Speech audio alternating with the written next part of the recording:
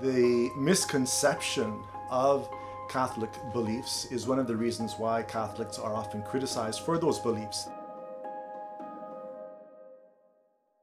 Eve is referred to as the mother of life, but in Mary, we have the mother of new life, of life eternal.